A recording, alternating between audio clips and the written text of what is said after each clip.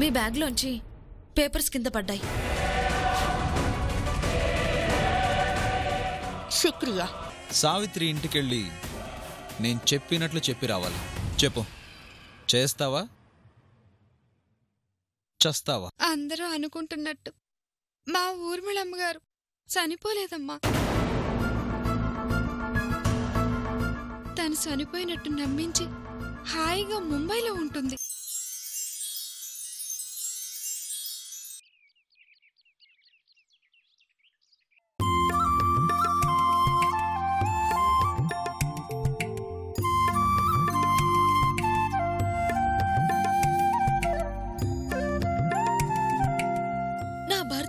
చేయలేదన్న నా నమ్మకాన్ని గెలిపించారు.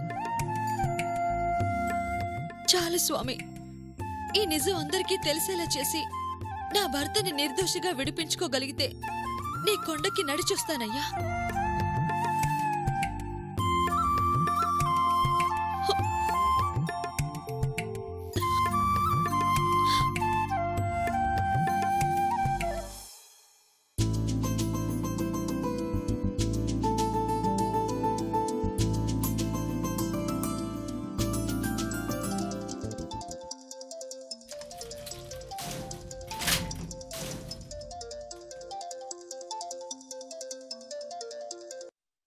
హలో చెప్పవే.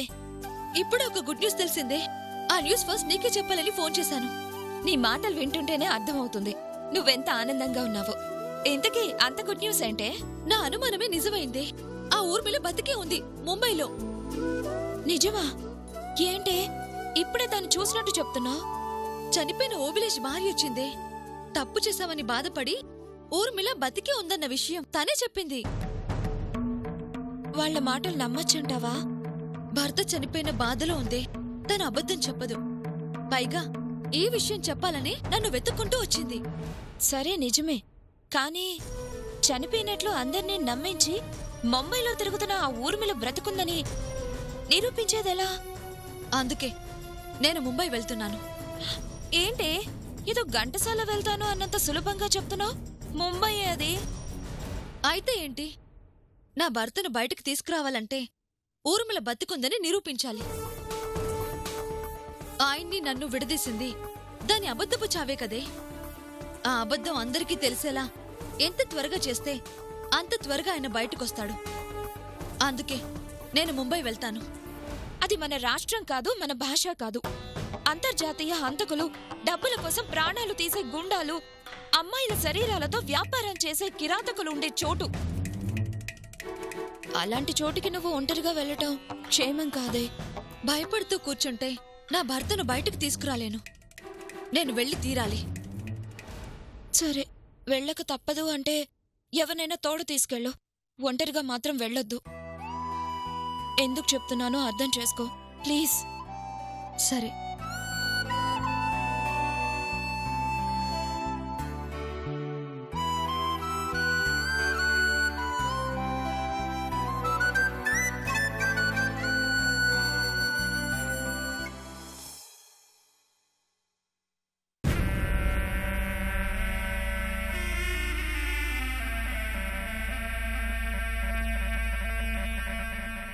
ఏంటండి అక్కడే ఆగిపోయారు? రండి.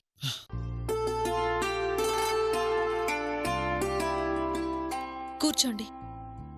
పొద్దునకి ఇప్పటికే నీ మొహంలో చాలా తేడా ఉంది. నువ్వెప్పుడు ఇలాగే ఉండాలి. చాలా సంతోషంగా కనిపిస్తున్నావు. ఏంటి సావిత్రి విశేషం? అబ్బే ఏం లేదు.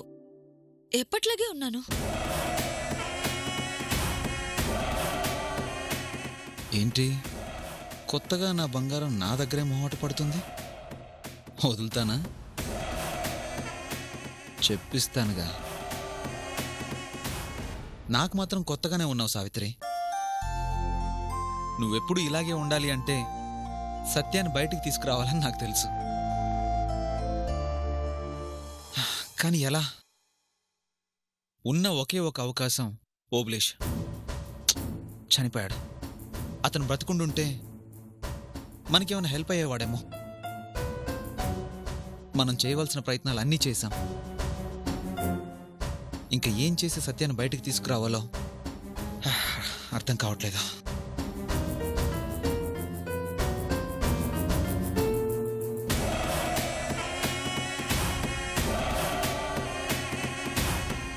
ఏంటి? ఓగులేసుగడి పెళ్ళంతో అంత ప్లాండ్గా చెప్పిస్తే ఏం మాట్లాడదేంటి? చంద్రగారికి విషయం చెప్పేస్తే? ఈ చిన్న అవకాశం దొరికినా మనం సత్యాన్ని విడిపించుకోవచ్చు. ఎంత ఆలోచించినా ఏ అవకాశం కనిపించట్లేదు.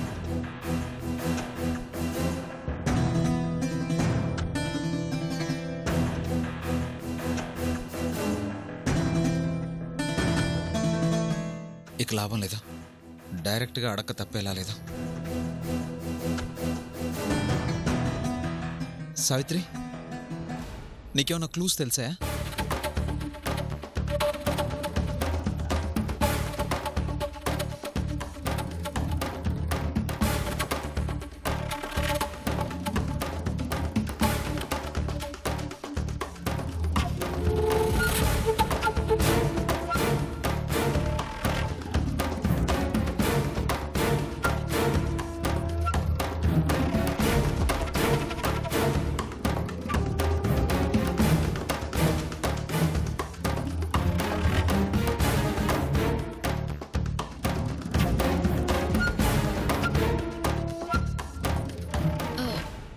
క్లూస్ నాకేం తెలియలేదు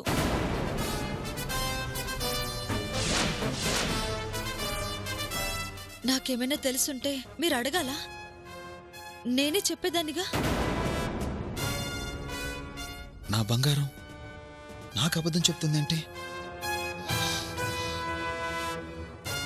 ఓకే సావిత్రి నేను మళ్ళీ వస్తాను.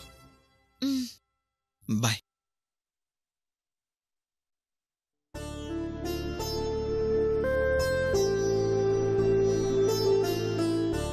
చంద్ర గారికి ఊర్మిళ విషయం చెప్పకుండా తప్పు చేశానా? ఆయనకి చెప్పలేదు. మరి ముంబైకి నాకు తోడుగా ఎవరిని తీసుకెళ్ళాలి?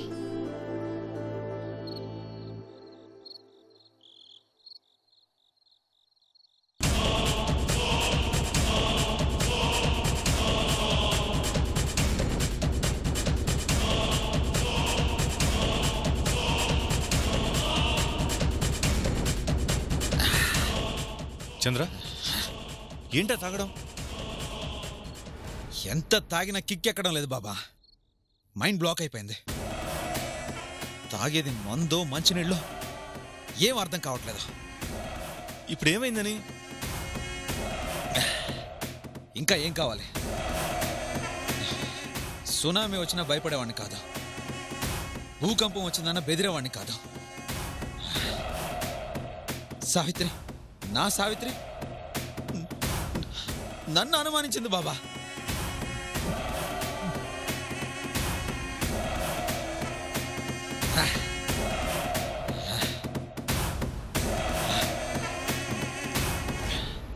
నా దగ్గరే ఒక విషయం దాచిందంటే నన్ను అనుమానిస్తుందనేగా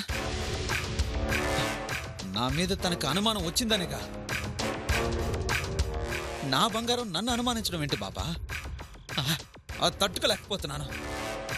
అనుమానం వచ్చింది అంటే నీ ప్లాన్ ఫెయిల్ అయిందనే అర్థం? నా! ఫెయిల్ అనేది చంద్ర లైఫ్లోనే ఉండదు. నా ప్లాన్కి రెండు వైపులా పదునుంటుంది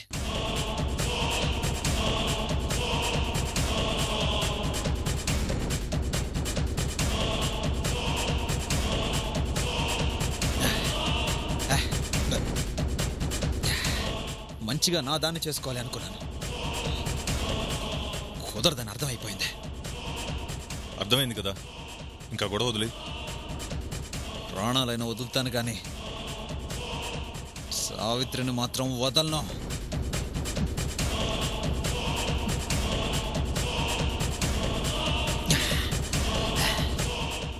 చాలు. మంచితనం అన్న ఈ ముసుగు చాలు. ఇక నుంచి ఇక నుంచి చూపిస్తాను నేనేంటో. బాబా చంద్ర అంటే చంద్రుడు కాదు కనిపించిన సూర్యుడని అందరికీ అందరికీ అర్థం కావాలి. ముఖ్యంగా సావిత్రికి. అందుకే మీ అందరికీ దూరంగా తను తీసుకెళ్ళిపోతున్నాను. త్వరలోనే దుబాయ్ చెక్కేస్తున్నాను. దుబాయ్ చెక్కేస్తున్నాను. టాటా వీడుకోలు గుడ్ బాయ్ ఇంకా సెలవు. టాటా సాయంత్రం నేను దుబాయ్ వేడుకో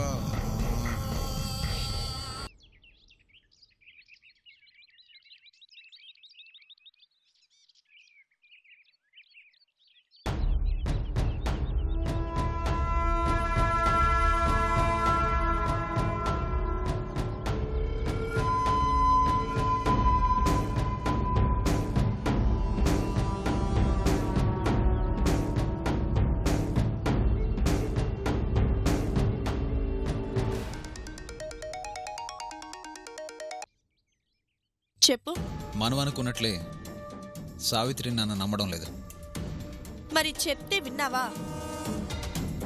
అది ఎన్ని రోజులుగా సావిత్రికి దగ్గరై నువ్వు సాధించింది? ఓబ్లీస్ గడ్ భార్య చెప్పిన విషయాన్ని నా దగ్గరే దాస్తుంది అనుకోలేదు. దాచింది కాబట్టే దానికి నీ మీదున్న నమ్మకం మనకు అర్థమైంది. ఇది నాకు చాలా చాలా అవమానంగా ఉంది ఊర్మిళ. ఇది అవమానం కాదు. నీ మంచికే జరిగింది. సావిత్రి నిన్ను నమ్మింది అని గుడ్డిగా నువ్వు నమ్మేసుంటే ఏ రోజైనా నీకు నష్టమే జరిగేది. కరెక్ట్. ఇంక ఈ చాటుమాటు ప్లాన్లు వర్కౌట్ అవ్వవు. ఇలా చూస్తూ ఊరుకుంటే సావిత్రి నాకు దక్కదు. అందులో డౌట్ లేదు. What next? సావిత్రి నా చేతుల్లో నుంచి జారిపోక ముందే తనని దూరంగా తీసుకెళ్ళిపోవాలి. అంటే? సెకండ్ ప్లాన్ వర్కౌట్ చేయాల్సిన టైం వచ్చేసిందన్నమాట. అదన్నా కరెక్ట్గా ప్లాన్ చేయి. ఈసారి మిస్ అవ్వదు. ఇండియా నాకు అచ్చొచ్చినట్లేదు. అందుకే దుబాయ్ తీసుకెళ్ళి విషయం అక్కడ తేల్చుకుంటాను ఆ విషయంలో నీకు హెల్ప్ ఏది కావాలన్నా నేను చూసుకుంటాను. దుబాయ్ వెళ్ళటానికి కావలసిన అన్ని ఏర్పాట్లు నేను చేస్తాను. Thank you Urmila. ప్రేమతో దగ్గరవ్వాలన్న నా పాత ఫార్ములా వర్కౌట్ అవ్వలేదు. అందుకే మన దుబాయ్ ప్లాన్ వర్కౌట్ చేస్తాను. హ, ఏర్పాట్లు చేయటానికి నేను రెడీగా ఉంటాను. ఎక్కువ టైం పట్టదు. నువ్వు రెడీగా ఉండు. నిన్ను కాపాడడానికి తను త్యాగం చేస్తాడు అన్న ఐడియా రాక అలా ప్లాన్ చేశాను. లేదంటే సెల్లో నువ్వు నాతో సత్య ఉండేలా మరో ప్లాన్ చేసేదాన్ని. హ, ఇప్పటికీ మించిపోయిందేం లేదు.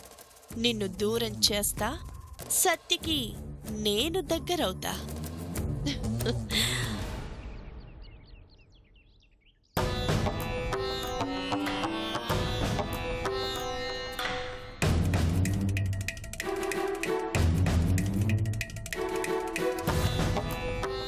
అందరూ అనుకుంటున్నట్టు మా ఊర్మిళమ్మ గారు చనిపోలేదమ్మా.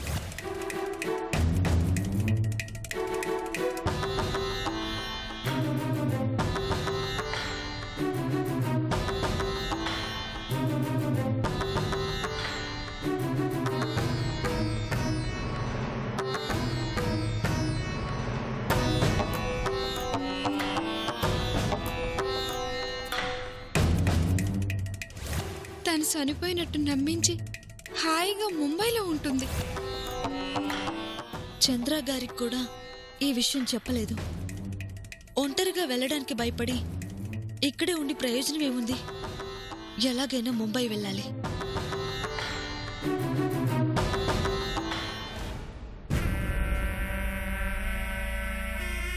సావిత్రి? సావిత్రి?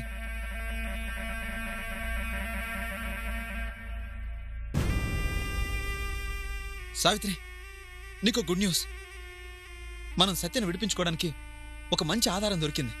ఏంటండి అది? ఎవరు చనిపోయారని సత్యని అరెస్ట్ చేశారో ఎవరు చనిపోయారని అందరూ సత్యాన్ని హంతకుడు అన్నారు ఆ ఊర్మిళ బతికే ఉంది.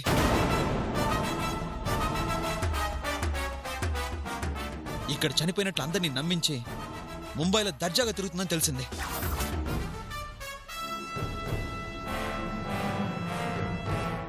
ఏం సావిత్రి? నమ్మబుద్ధి కావట్లేదా? ఇది నిజం.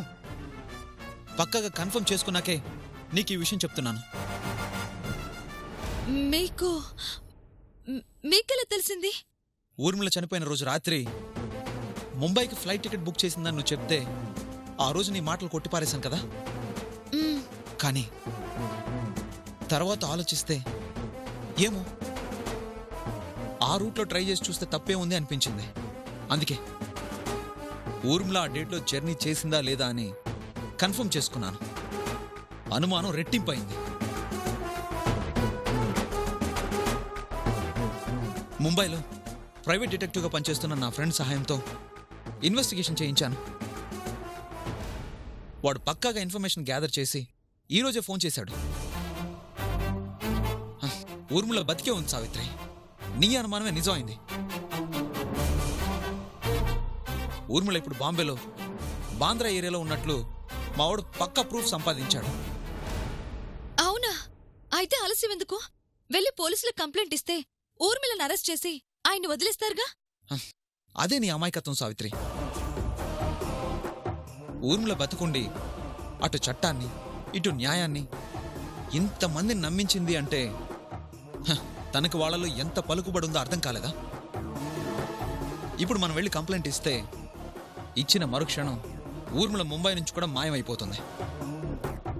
మరింత జాగ్రత్త పడుతుంది. అప్పుడు సత్యాన్ని ఎప్పటికీ బయటికి తీసుకురాలేం. మరిప్పుడు ఏం చేద్దాం? ఒకరి మీద ఆధారపడకుండా మనమే ముంబై వెళ్దాం.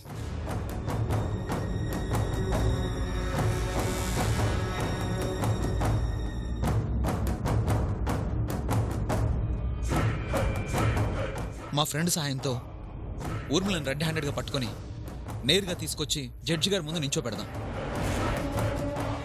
అప్పుడే సత్య బయటకు వస్తాడు. నీ భర్తతో నువ్వు ఆనందంగా ఉండొచ్చు.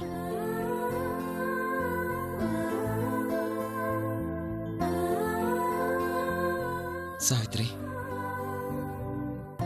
ఏ రోజు నువ్వు పరిచయం అయ్యావో ఆ రోజు నుంచే నేను నీ గురించి ఆలోచించడం మొదలుపెట్టాను.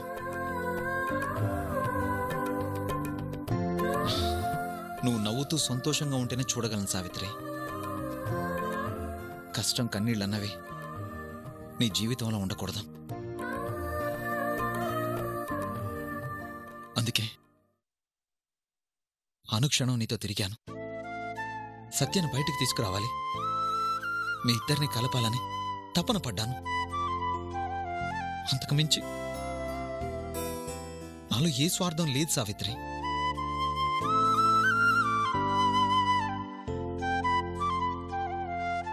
నీతో పెళ్ళంటే ఒప్పుకుంది కూడా. మీ అమ్మ నాన్న బామ్మ బలవంతం చేశారు కాబట్టి. కనీసం తోడుగానైనా ఉండు అని బతిమిలాడారు కాబట్టే. సరే అన్నాను. అంతకు మించి నాలో నాలో ఏ దురుద్దేశం లేదు సావిత్రి.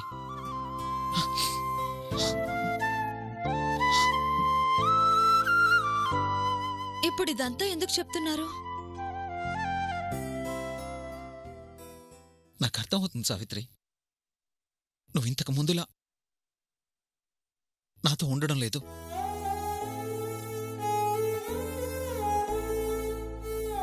అంటి ముట్టినట్లు ఉభావంగా ఉంటున్నావు. అదే అదే నేను తట్టుకోలేకపోతున్నాను.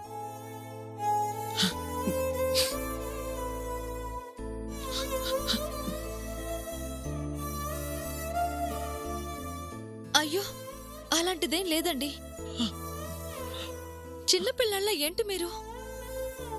మరేం చేయను సావిత్రి? ఎవరితో నా బాధ చెప్పుకోను? నాకంటూ ఉంది నువ్వే. నువ్వే నన్ను దూరం చేస్తే తట్టుకోలేను సావిత్రి. తట్టుకోలేను. ఒక్కటి గుర్తుంచుకో. అప్పటికి ఇప్పటికీ ఎప్పటికీ నువ్వు నా ప్రాణం సావిత్రి. నీకోసం ప్రాణాలు ఇవ్వాలన్నా సంతోషంగా ఇస్తాను కానీ నీకు పరాయి వాళ్ళ మాత్రం బతకలేను సావిత్రి. బతకలేను. బతకలేను.